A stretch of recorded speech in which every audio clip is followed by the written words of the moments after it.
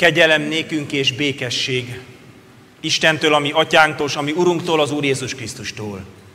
Ámen. Hallgassuk meg hittel és figyelemmel Istenünk igéjét, úgy, amint megírva találjuk Lukács evangéliumának 18. fejezetében, a 17. versben a következőképpen. Az Úr Jézus így folytatta a tanítványai felé. Bizony mondom néktek, aki nem úgy fogadja az Isten országát, mint egy kisgyermek, semmiképpen nem megy be abba. Urunk, szentelj meg minket a Te igazságoddal, a Te igéd igazság. Szívem csendben az Úrra figyel, ki segít. Szívem csendben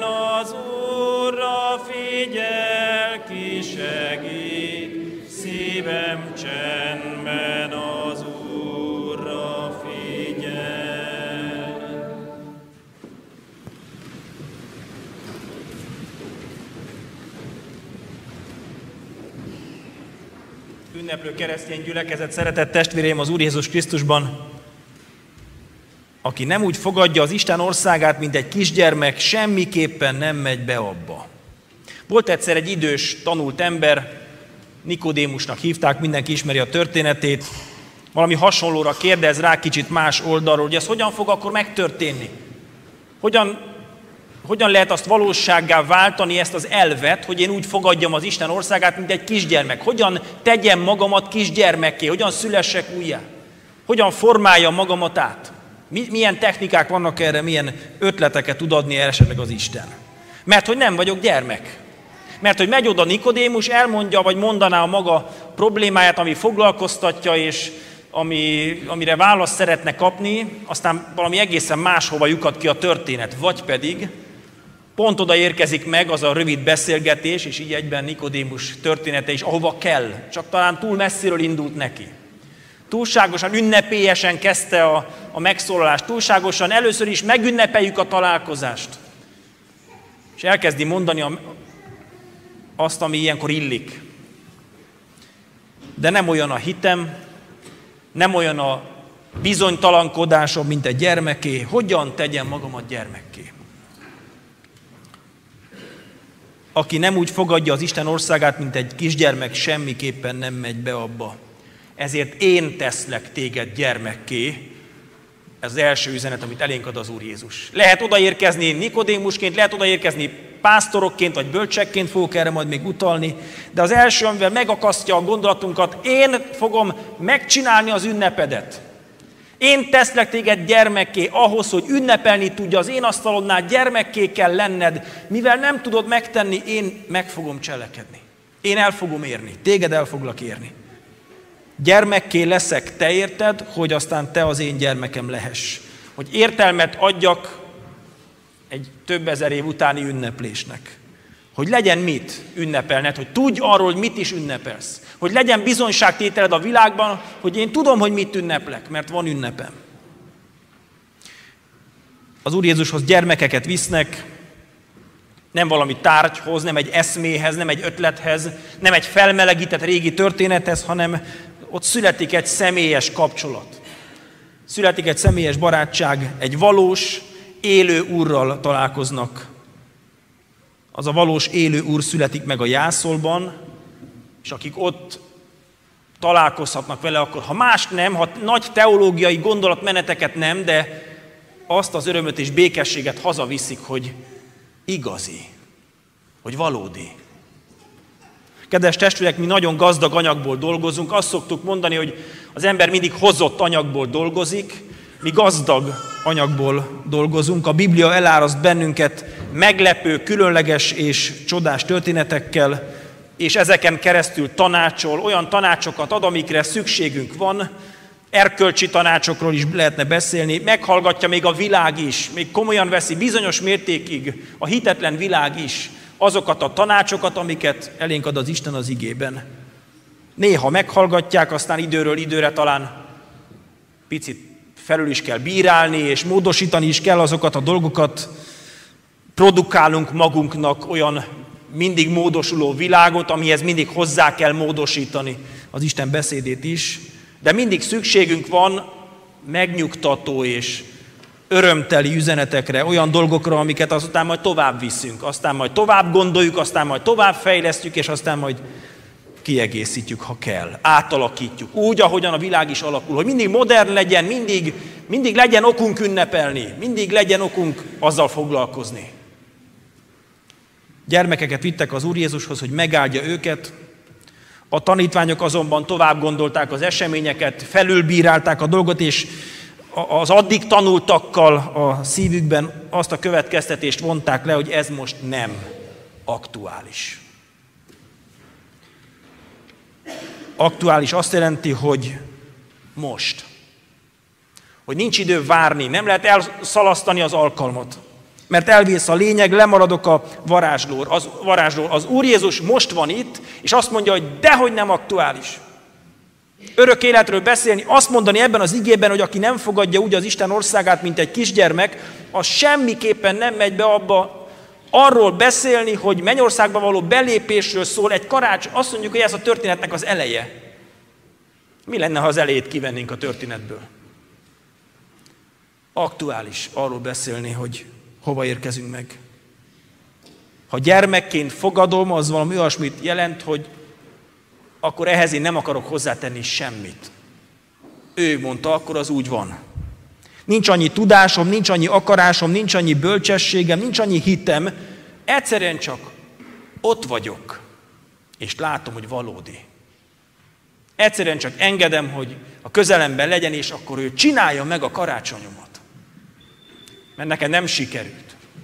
Beleadtam mindent. Engedem, hogy cselekedjen. Az első imádság téma ebben segítsen bennünket az Isten, hogy engedjük őt cselekedni.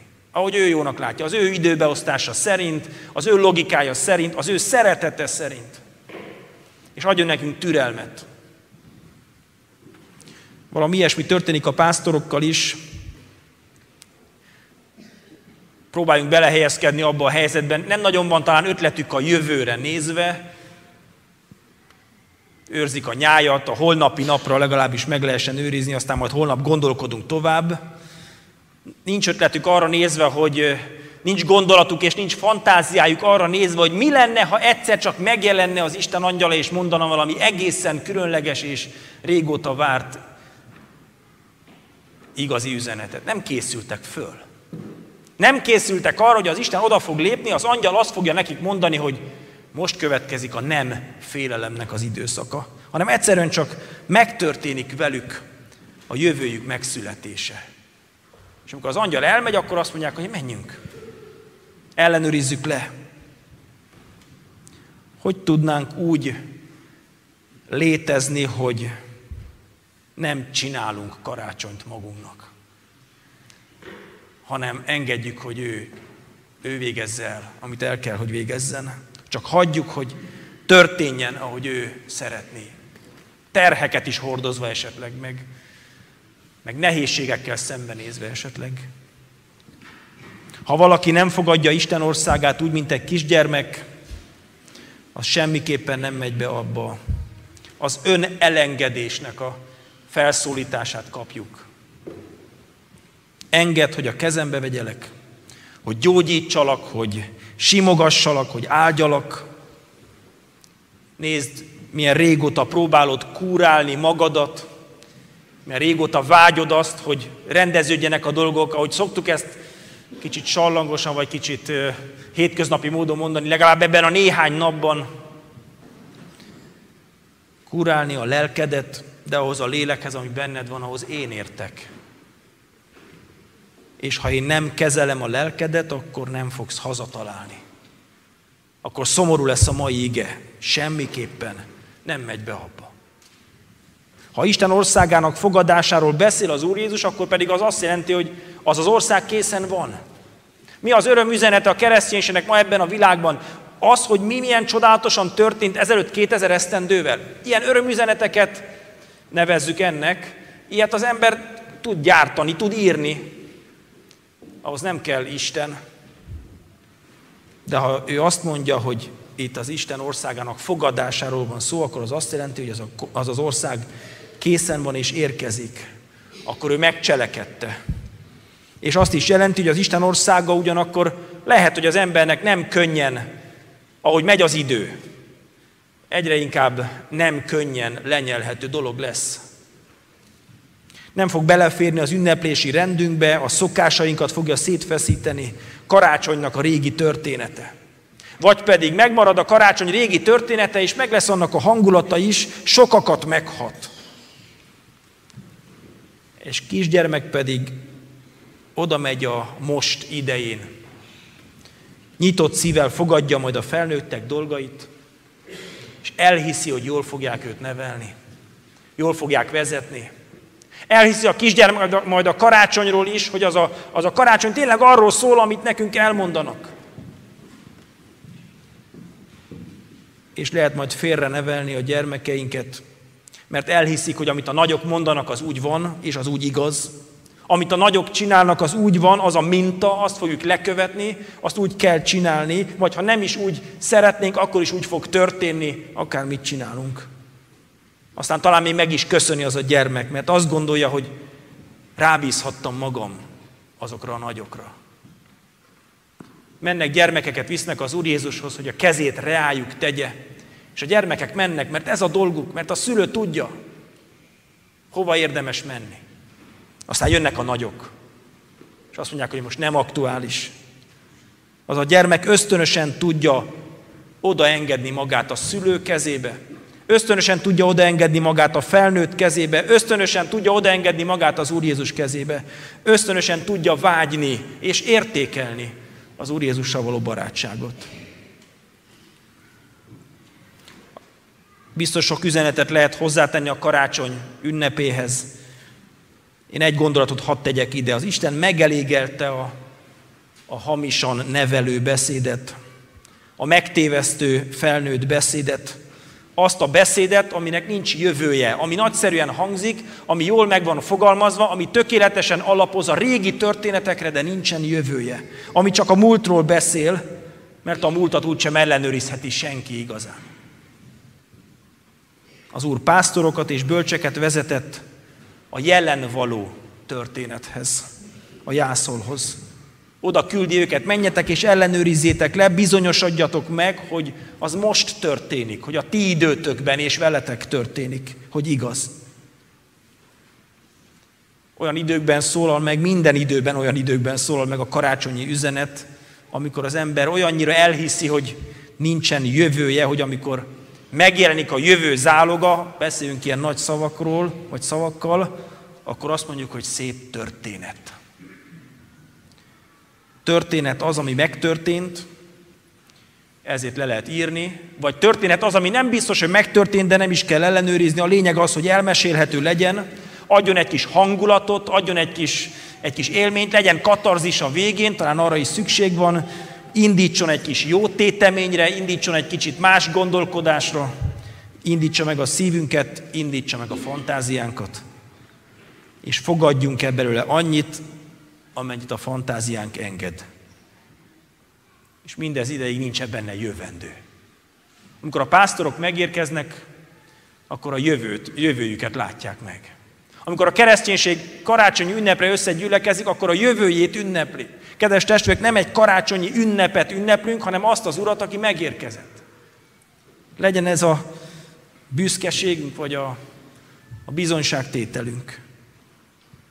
Bizony mondom néktek, aki nem úgy fogadja az Isten országát, mint egy kisgyermek, nem megy be abba. Gyertek közel, és én megmutatom, hogy bevisznek oda benneteket, hogy hazaérsz.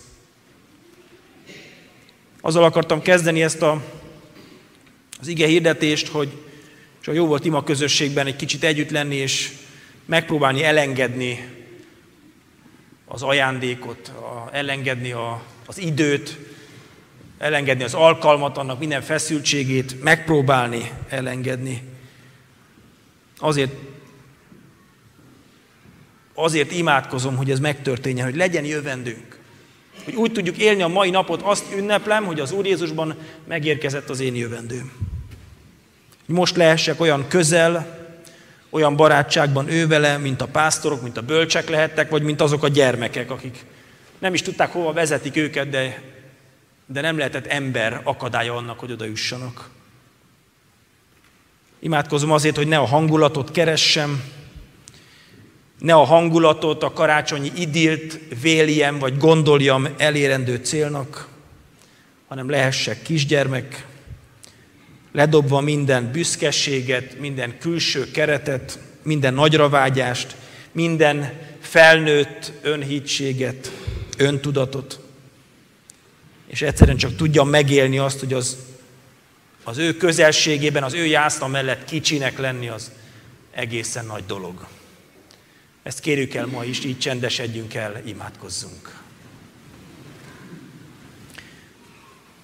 Úr Jézus adventben bűnbánati időre is hívtál bennünket, az őszinte vallomás időszakát is adtad, hogy megértsük és megérezzük, hogy amikor majd megérkezel, amikor elénk állsz, akkor lehet mégiscsak békességben lenni. Mindazt elhozni eléd, ami, ami összegyűlt bennünk az elmúlt időszakban.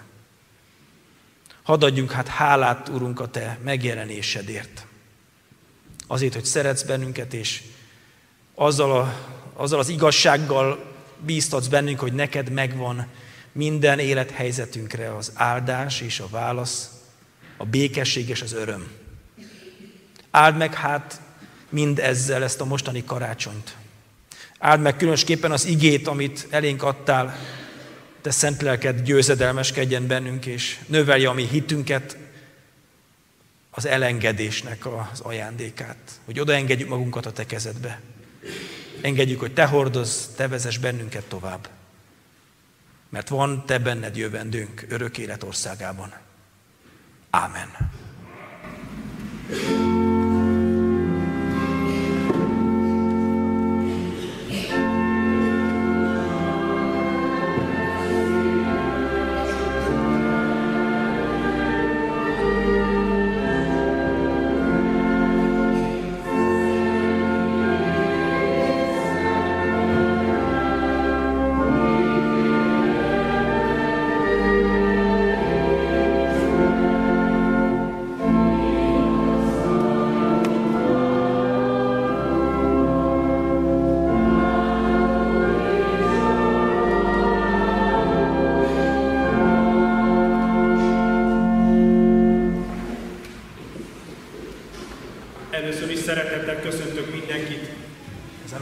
Ünnepen, karácsony este ünnepén, és a magam és a családom nevében kívánom az Isten gazdag áldását az Úr Jézus valóban mai és jövőnket jelentő megszületését mindannyiunk életében, a gyülekezet minden tagjának életére.